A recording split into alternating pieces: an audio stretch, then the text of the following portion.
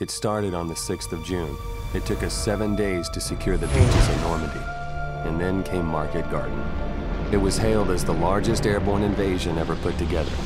It was simple. Get some trucks up a highway and be home by Christmas. But it's never that easy. Dorian, get moving and get Santa some goddamn cover fire! Across the Santa bitch! Move up that base of fire!